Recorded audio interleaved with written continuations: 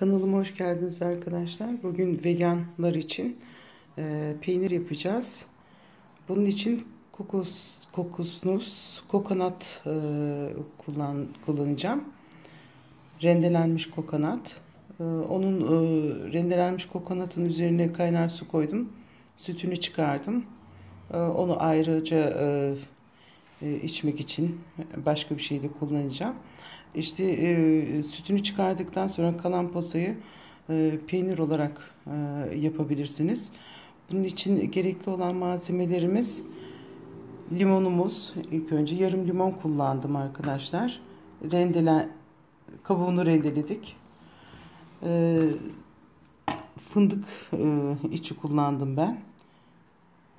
Veya başka bir şey de kullanabilirsiniz. Ceviz içi, rendelenmiş ceviz içi kullanabilirsiniz. 2 kaşık e, biyo zeytinyağı vardı.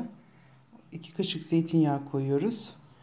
Sonra e, sıkılaştırmak için ya da lezzetli olsun diye e, ekmek e, kırıntıları e, koydum.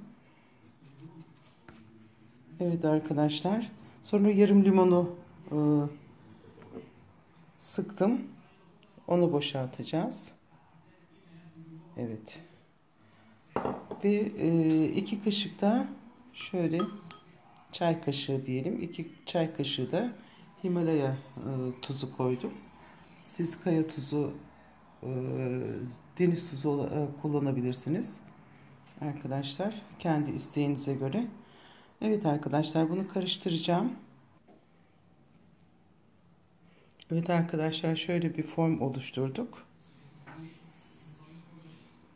Şunu pasta e, formlarınız varsa o formlara yerleştireceğiz. Allah böyle tekrar yerleştirebilirim. Buyur inşallah.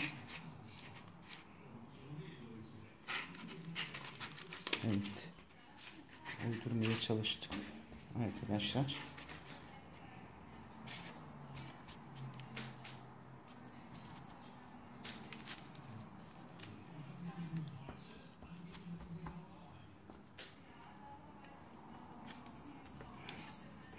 Siyah eldiven çok hoşuma gitti.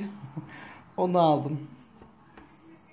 Biraz komik duruyor ama şuradaki etraftaki şeyleri temizleyeyim arkadaşlar. Diğerini de hazırlayayım. Evet arkadaşlar vegan peynirimi hazırladım. Pasta formlarına koydum. Şimdi fırına yerleştireceğim. Ee, pişirdikten sonra çıkarıp tekrar göstereceğim arkadaşlar.